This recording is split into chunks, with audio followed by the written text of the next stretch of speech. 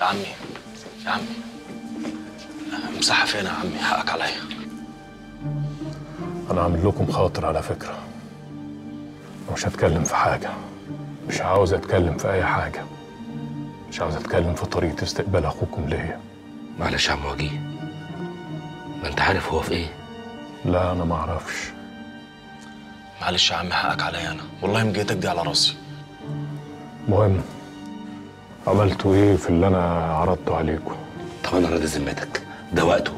ليه؟ انت كنت فاكر ان أبوك هيعمر فيها ولا إيه؟ خلاص نأجل الكلام في الموضوع ده دلوقتي لحد ما توصلوا الأمانة